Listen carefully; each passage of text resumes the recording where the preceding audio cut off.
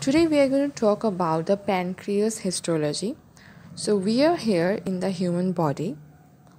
Esophagus coming from the mouth, the stomach, after the stomach the small intestine and the large intestine. Pancreas is present at the curve of the small intestine called duodenum.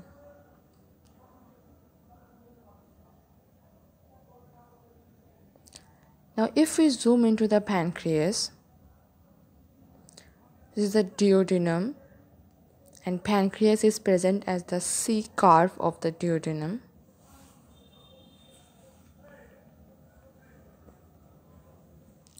The pancreas is both exocrine and endocrine gland.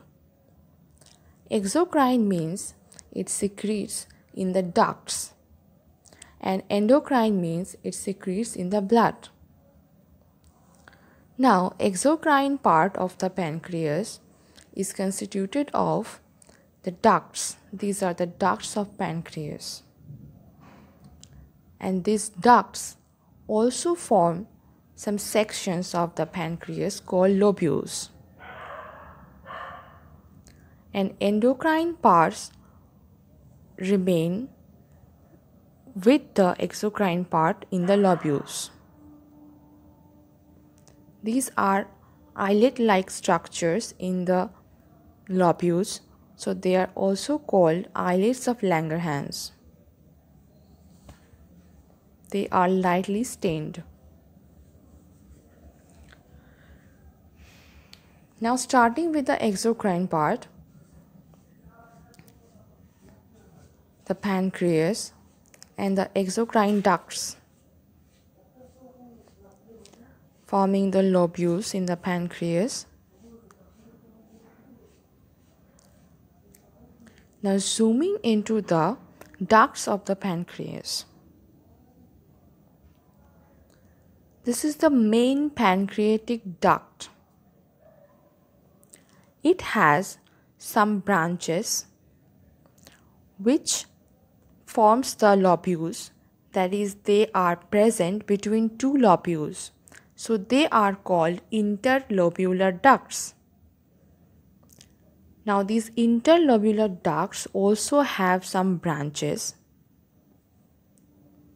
These branches goes inside the lobules.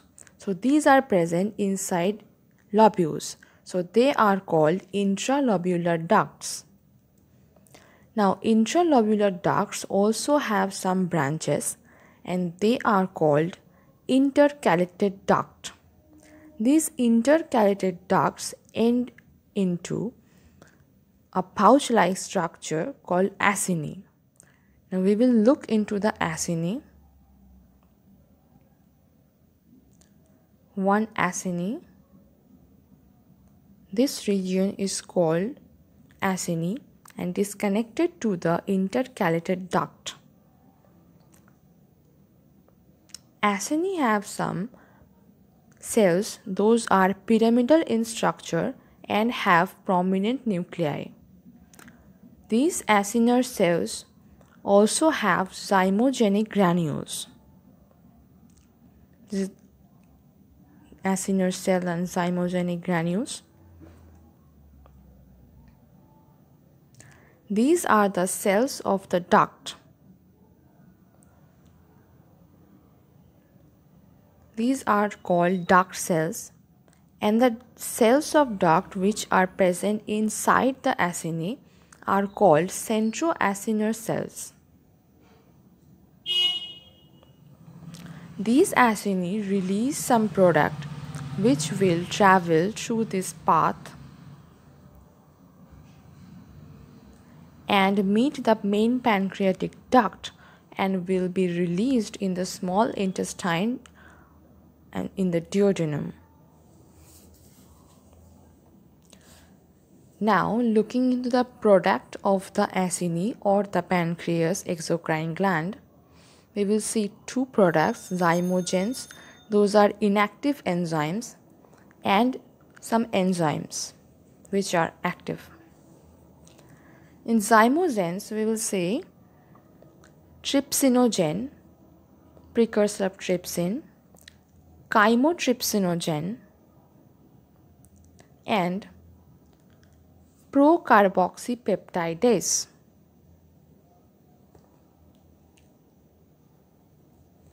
In enzymes, there are amylase and lipase.